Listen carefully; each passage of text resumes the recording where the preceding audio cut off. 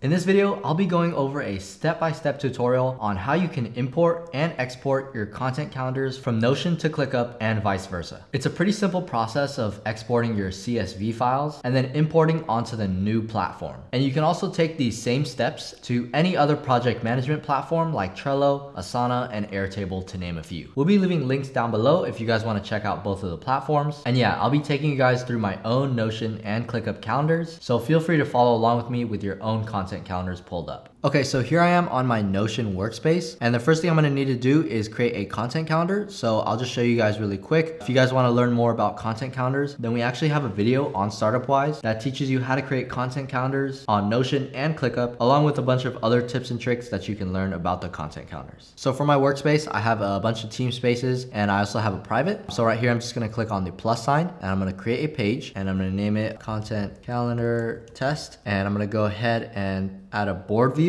So I'm gonna go ahead and type slash board and create that board view and click on new database. From here, I can call it content calendar. I'll go ahead and click on the top three dots right here and I'll click on full width. And from here, I can add another view. So let's say I wanna add a table view. So I just click on done right here. So cool, now I have my content calendar where I can view it as a table and as a board. So let's say, uh, let's just rename this video one, video two, and video three. Now we can go inside and we can add some stuff. So let's say uh, this is the intro. So intro of the video and outro. You know, this is just where we script out the entire video. And from here, if you guys want to export the CSV file, then you're going to go ahead and click on the top right hand corner where it has the three dots. And then you're going to go ahead and click on export. From here, it's going to give you some options on which format that you want to export in. So it gives you the option to export into PDF, HTML, and Markdown and CSV. So I'm going to go ahead and click on CSV and it's going to ask you if you want to include all the content or if you just want to include the text. So no files and no images. For this, I'll just choose everything and it'll also ask you if you want to include any subpages. This basically means that if you have, let's say a subpage, so let me create a page within the page, right? So it's going to be this page within the page that we have. Basically, it's going to export that as well. So I'm going to go back to where it says export and I'm just going to go ahead and click on export. From here, you can see that it exported into a zip file. Here it is as a zip file. And if I double click on the zip file, it's going to open up as a CSV document. From here, I'm going to go over to my ClickUp.